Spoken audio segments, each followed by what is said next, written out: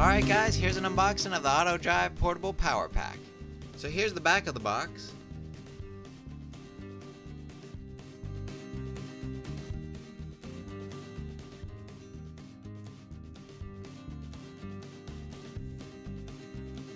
And then here's the actual power pack.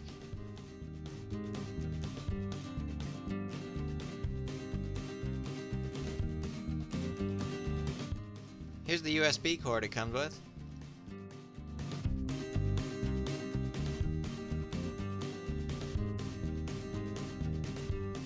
Thanks for watching. If you have any questions, you can leave a comment in the comment section below.